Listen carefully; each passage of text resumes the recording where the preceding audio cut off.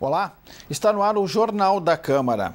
Em alusão à Semana Farroupilha, a EPTC realiza ações educativas durante todo o mês de setembro.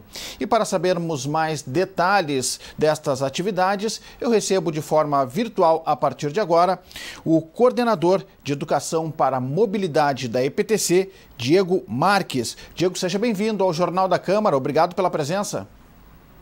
Muito obrigado pelo convite. É um prazer sempre falar sobre educação, falar sobre um tema que, que muita gente gosta e que é fundamental para o desenvolvimento de outras áreas, né, a educação.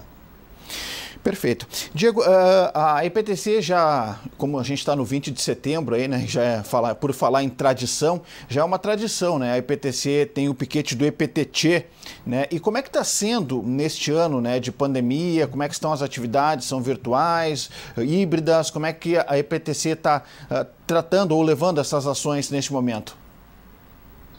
Ah, no ano passado, a gente teve, devido à pandemia, nós tivemos que uh, não podemos realizar nenhuma atividade presencial. Nós não participamos efetivamente no acampamento Palpira das atividades, mas esse ano a gente não deixou de fazer, não. A gente deu um jeito, a gente inovou e a gente está com um trabalho bem forte junto às instituições de ensino da cidade, através de agendamento, uh, e estamos atendendo as escolas. Uh, o nosso trabalho aqui ele é também uh, para demais públicos, não somente para escolas, para universidades. Uh, temos um trabalho forte com os idosos, que hoje são uma das maiores vítimas no trânsito, principalmente por atropelamento. Então, o nosso trabalho ele vai, como a gente fala, além uh, da escola. Mas especificamente, estamos indo, no mínimo, uma a duas vezes por semana nas instituições que fazem pré-cadastro estamos atendendo de forma temática a, a questão do trânsito e da mobilidade nessas instituições.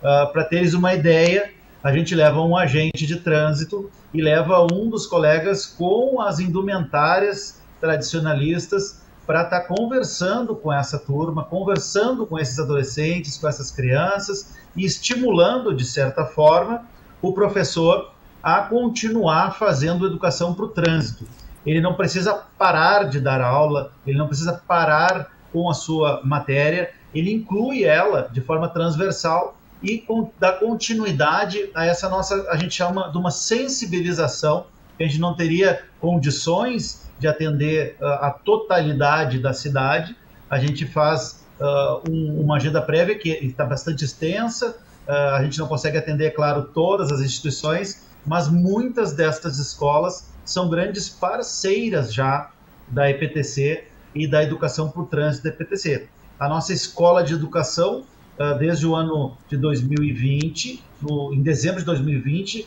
ah, foi criado um decreto municipal em que instituiu essa nossa escola de educação para mobilidade, que é parte dos eixos de mobilidade de, da cidade de Porto Alegre, através da Secretaria Municipal de Mobilidade Urbana. E a IPTC está dentro dessa secretaria nós temos a Escola Pública de Mobilidade, que é composta por 20 pessoas, são 20 agentes de trânsito que trabalham de forma efetiva nos diversos projetos uh, educativos que aqui são realizados. E, e, historicamente, anualmente, no mês de setembro, uh, acontece em conjunto com as festividades Farroupilha a Semana Nacional do Trânsito, que ela iniciou certo. no dia 18 e vai até o, dia 25. E Diego, uh, uh, para fazer esse link né, com a Semana Farroupilha, né, tu falasse da indumentária, dos agentes que vão até as escolas, como é que é feito essa, essa relação, né? Como é que a IPTC trabalha essa relação educativa, né? Levando para as escolas, para as instituições, a, a questão farroupilha e a educação para o trânsito? Sim, a gente faz um link, né? A, através uh, de, do, de uma linguagem adequada ao evento né, o agente que vai lá com a indumentária uh, farroupilha, ele utiliza essa ferramenta de linguagem, ele conta um pouco da história também do transporte, uh, da mobilidade na cidade, a parte histórica que vai citar uh, a história do gaúcho, a história do Rio Grande do Sul, trazendo isso para a nossa realidade e fazendo o link com a atual situação de mobilidade com os fatos históricos uh, que vão abrilhantar essa ação educativa dentro uh, do currículo uh, dessas escolas que estão participando de forma efetiva das ações da EPTC. Então, fica bem legal, o pessoal fica bem estimulado. na, num vídeo que a gente envia para as escolas, é feito até uma dança uh, tradicionalista, que é a dança do pezinho, todo mundo aqui de Sim. Porto Alegre conhece, uh, com uma paródia que vai reportar a questão do respeito às regras de trânsito, do respeito ao trânsito, e temos também o nosso boneco, o chamado Azulito, que já é amplamente conhecido das crianças na cidade, e esse boneco ele foi caracterizado com as indumentárias tradicionalistas para participar desta semana. Ele está indo lá nas escolas com as indumentárias e nós largamos também para os professores entregarem uma atividade para as crianças. Essa atividade é um desenho onde o azulito está com uh, a roupa tradicionalista, está com uh, elementos da tradição gaúcha que as crianças vão preencher e vão pintar esse, esse boneco. Perfeito. Muito, muito utilizado uh, dentro das escolas hoje na cidade de Porto Alegre. Certo. Diego, quando falasse, é, a, a, essas ações, essas atividades, né, ela acontece para públicos variados, né, de diversas idades, né, dos pequenos até os idosos.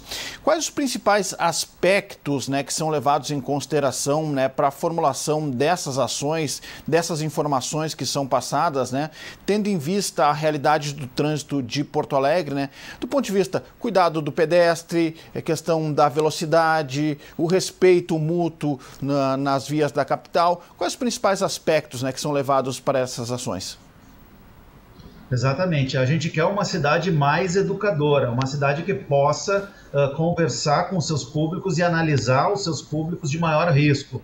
A exemplo disso, temos uma equipe que compõe um projeto, que é um projeto federal, o projeto Vida no Trânsito, que faz a análise dos acidentes. Todo acidente fatal em Porto Alegre é analisado por essa equipe, que é composta pela Secretaria de Saúde, pela EPTC, pela Brigada Militar, por vários atores do trânsito e criam o que um diagnóstico das maiores vítimas. Hoje são os idosos. Para isso, nas análises, nós conseguimos avaliar alguns fatores de risco que são primordiais uh, para esse público e criamos ferramentas de entrega. Por exemplo, nós uh, construímos e entregamos hoje em alguns vários pontos da cidade, na verdade, um guarda-chuva transparente. Aí a pessoa pergunta, mas por que estão uh, doando entregando esse material é um brinde? Não, não é um brinde. Ele é um material de segurança que faz com que esse idoso que vai deslocar na cidade em dias que aqui chove bastante, o mês de setembro é caracterizado por chuva,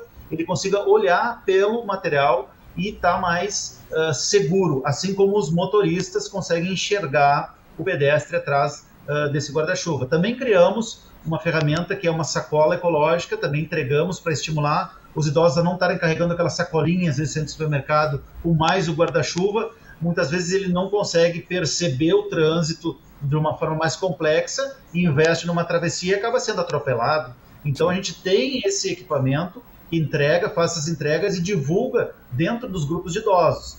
Assim como temos um trabalho forte em empresas, principalmente com frotas de veículos. Nós temos uma premiação, inclusive anual, que é uma empresa amiga da EPTC, programado esse ano para ocorrer em dezembro, aonde a gente vai nas empresas ou agora de forma virtual participa de reuniões, onde conversa com os motoristas, com as frotas e com o próprio funcionário dessas empresas e temos muitos uh, relatos positivos de diminuição de acidentalidade nas empresas que participam uh, desse programa.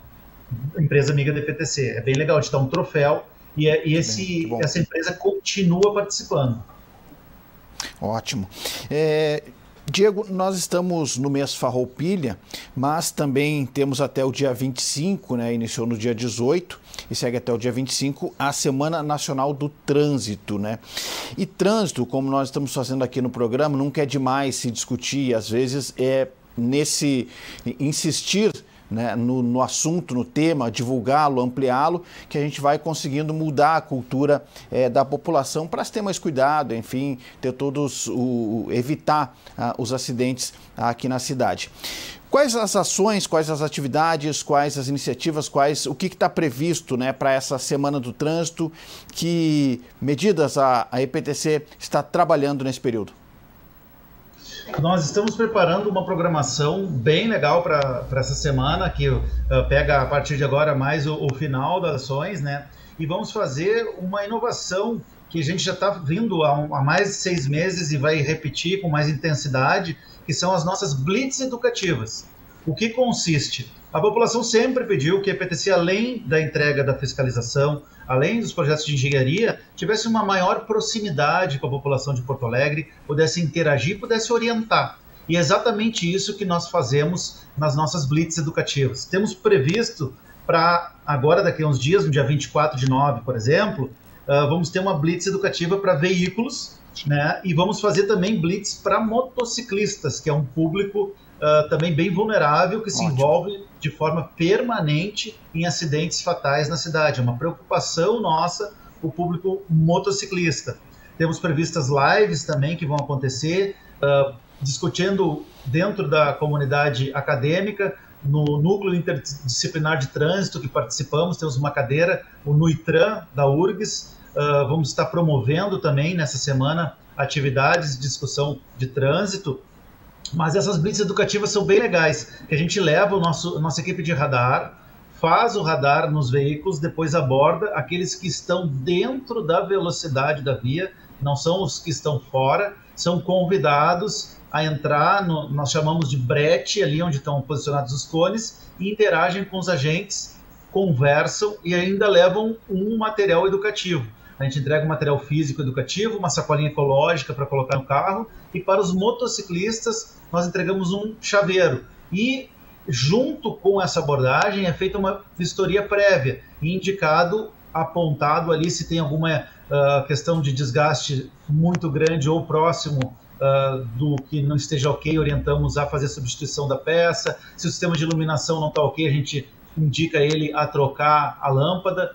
Tudo isso previsto, propositivo e essa blitz ela é somente educativa. Ela não tem o cunho fiscalizatório. Então ela serve para aproximar a população com a EPTC, ela serve para a gente conseguir trabalhar a educação para o trânsito lá na ponta e ela está sendo muito bem uh, quista pela população. A gente tem relatos de muita gente que está aprovando esse tipo de ação, que no mínimo acontece duas vezes ao mês uh, planejado. Nós temos até o final do ano uma programação e nessa semana agora uh, vamos estar intensificando devido às festividades farroupilhas e à Semana Nacional do Trânsito, que coincide com a data, uh, fazendo cada vez mais essas blitz educativas, além das ações previstas como escolas e como empresas também e universidades que temos muitos convênios dentro do setor de educação da EPTC, da Escola Pública de Mobilidade, com as universidades.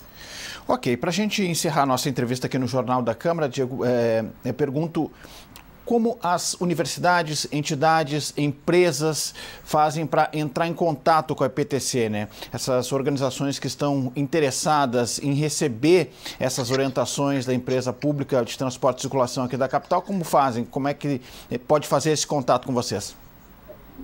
Eu, eu vou convidar a entrar no nosso portal uh, eletrônico de cursos e até ofertar à população, a quem quiser fazer um curso uh, nosso, é totalmente gratuito, não tem custo algum. Ele é para diversos públicos. Temos uma plataforma de educação que pelo endereço www.eadeptc.com.br, repetindo, www.eadeptc.com.br, vocês podem acessar a nossa plataforma. Ali tem cursos para multiplicadores de educação para o trânsito, tem cursos para ciclistas, tem cursos para motociclistas, tem cursos de direção defensiva. A nossa plataforma ela começou em 2017. Hoje temos mais de 7 mil pessoas que já passaram por ela, já certificaram. Muitas empresas uh, aceitam a certificação e isso serve para promoções institucionais, para garantir mais segurança. Temos um curso para o pedestre idoso, que o PDS pode entrar também e fazer esse curso, é bem legal. Então, eu digo a todos que possam entrar e conhecer o nosso trabalho. Muito bom. Diego Marques, coordenador de Educação para a Mobilidade da EPTC, obrigado pela presença aqui no Jornal da Câmara. Palavra à disposição para a despedida. Eu agradeço a todos pela oportunidade em nome da EPTC e uh, peço sempre que se cuidem cada vez mais, quem os familiares possam cuidar dos seus idosos, principalmente que são um público bem vulnerável no trânsito, lembrá-los de se cuidar na hora de fazer a travessia e que as crianças possam cobrar muitas vezes lá do pai aquela atitude inadequada de estar tá falando no celular, de estar tá tentando passar sinal vermelho. A criança é um grande exemplo e é muito ouvida pelas famílias. Então conto com todas as famílias aí e com a população em geral para nós mudarmos essa realidade do trânsito e cada vez mais preservarmos vidas no trânsito, que essa é a grande missão da IPTC na cidade de Porto Alegre. Tá certo, obrigado, Diego. Tá aí o recado dado, né? Especialmente em relação ao celular, né? Não dá para ficar com o celular e dirigir ao mesmo tempo, não tem como, né?